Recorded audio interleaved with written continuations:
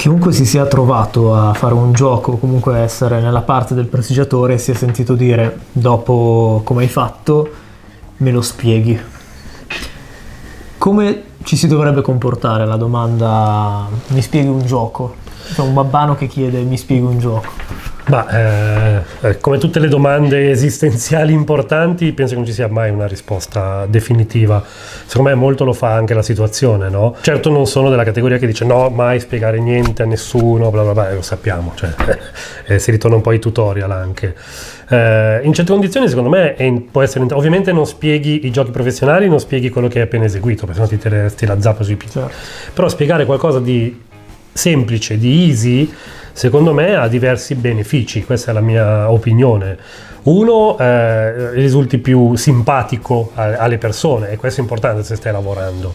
Due, eh, anche lì c'è modo e modo, ma se insegni un gioco cercando di trasmettere anche dei concetti importanti, secondo me potresti anche, ehm, come posso dire, creare nuovi appassionati si appassionano alla prestigiazione come spettatori, come certo. dilettanti, amanti della prestigiazione e quindi avere anche poi del pubblico nuovo. Quindi non, non, non, non ci vedo niente di, di, sbagliato in spiegare un gioco, ripeto, molto base, però io eh, tendenzialmente piuttosto che spiegare un gioco fino a se stesso, eh, spiego, spiegavo, spiego magari un gioco semplice che però mi permetta un po' di far vedere il colore, la, la, la um, complessità dell'arte magica e quindi il sottotesto è dare comunque valore all'arte magica. Quindi secondo me l'ideale potrebbe essere prendere un gioco che magari anche già tutti gli spettatori conoscono. Ce ne sono 3-4 giochi che bene o male il pubblico conosce, o in termini di metodo o in termini proprio di effetto.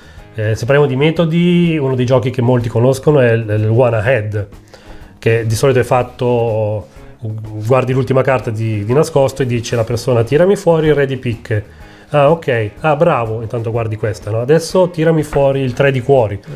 Uh, ah perfetto, adesso io vado a tirar fuori il 5 di picche.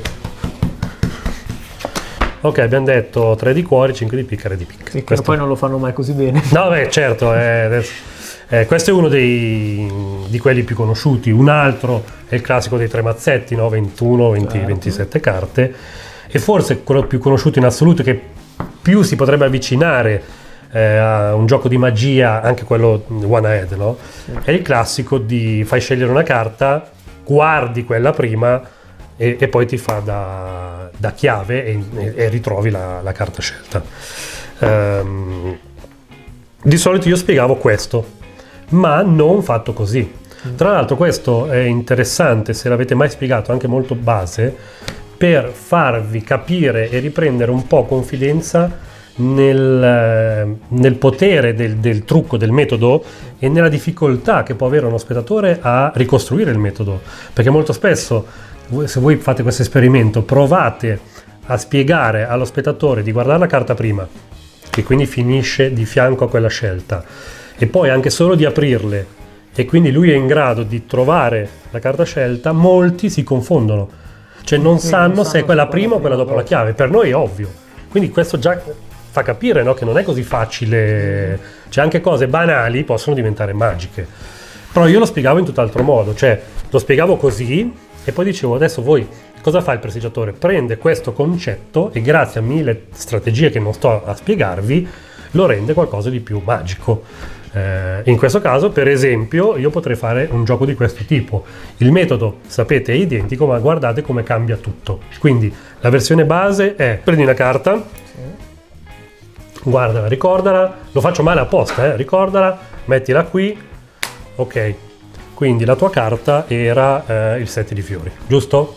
Così bene o male come lo fanno tutti è ovvio che è troppo trasparente, non c'è dramma, non c'è niente e non abbiamo lavorato sulle condizioni anche, no? Per condizioni intendo eh, proprio le, le condizioni sotto le quali avviene l'esperimento. Cosa intendo per condizioni? Tipo il mazzo non è stato mescolato, quindi potrebbero essere tutti in ordine dall'asso al re.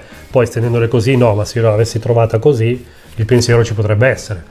Eh, e mille di queste cose che Tamarizza affronta nella via magica e via dicendo. Però creiamogli eh, delle condizioni più stringenti o apparentemente più stringenti, no? Quindi rendiamolo eh, un metodo professionale. Quindi per esempio se io ti dicessi mescola le carte. Ok, ora ti faccio un classico. Tu sai che tutti i maghi eh, ti fanno scegliere una carta, no? Però voglio farlo veramente in maniera molto stringente, condizioni stringenti. Quindi quello che ti chiedo di fare, da dove vuoi, tiri fuori una carta dal centro. Ok.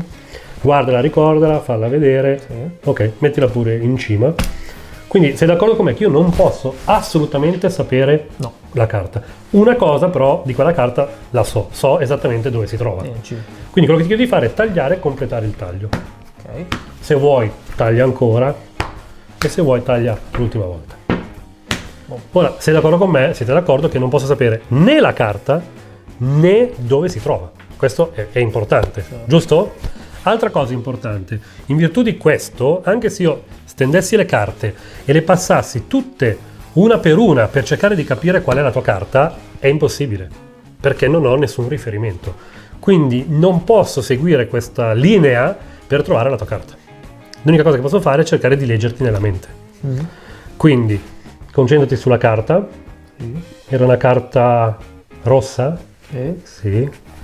Una carta di quadri, esatto. eh, abbastanza alta, Eh, eh, pari di valore. Era l'otto di quadri? otto uguali. Voilà, non so dov'è. Eh, ah, eccolo qua. otto di quadri. Certo. Penso che sia chiaro no? che è tutta un'altra cosa, ma il metodo è identico, cioè sopra alla tua carta ci finisce una carta che io ho visto.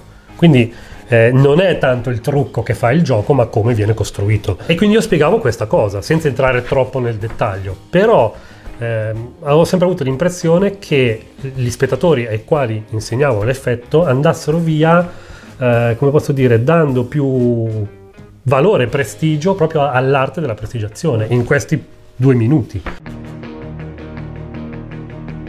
Poi è lavorare sulle costruzioni dei giochi. In quello, per esempio, adesso ce l'abbiamo qua di fianco, Design Miracles di eh, Darwin Ortiz, no? che va a, a supporto di Strong Magic, che è l'altro test teorico, che poi non sono teorici, sono teorici pratici no? di Darwin Ortiz, si concentra esclusivamente su questo. Tutte le teorie spagnole si basano su questo, cioè vanno a lavorare su questa cosa.